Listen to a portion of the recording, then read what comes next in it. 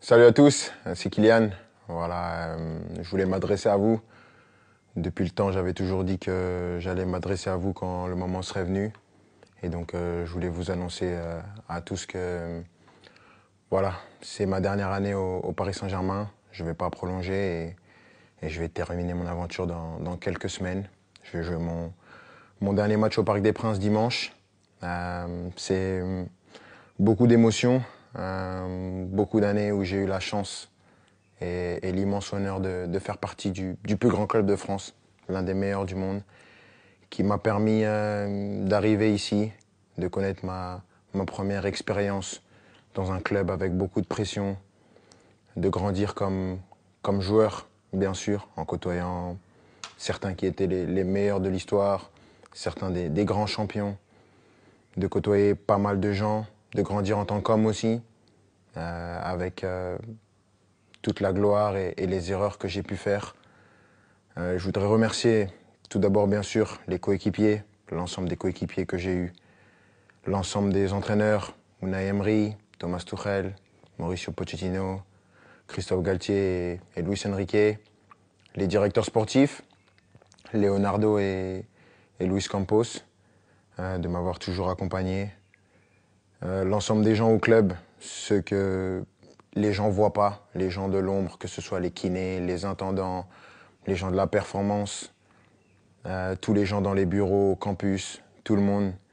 Parce que voilà, il y a des personnes qui sont formidables, qui donnent tout pour le club et elles méritent d'avoir cette reconnaissance. Euh, malgré tout ce qui peut se passer en dehors, tout ce nuage médiatique qui entoure parfois le club, il y a vraiment des amoureux du club qui veulent défendre et, et faire briller ce club et, ça fait plaisir. Et je sais que avec toutes ces personnes, euh, ce club il est entre de bonnes mains. C'est difficile, difficile. Je pensais pas que ça allait être aussi dur d'annoncer ça, de quitter mon pays, la France, la Ligue 1, un championnat que que j'ai toujours connu. Mais je pense que j'avais besoin de ça, un nouveau challenge après cette année. C'est difficile et bien sûr, il y a des gens que je voudrais remercier par-dessus tout, c'est les, les, supporters.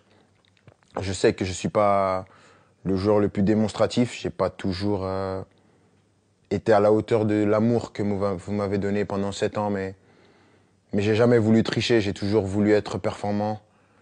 Euh, le PSG, c'est un club qui, qui laisse personne indifférent. On peut aimer ou on peut détester, moi j'ai choisi de l'aimer. Et, et, je l'ai fait pendant sept ans, avec des hauts et des bas bien sûr, mais mais à aucun moment je regrette d'avoir euh, signé dans ce club prestigieux.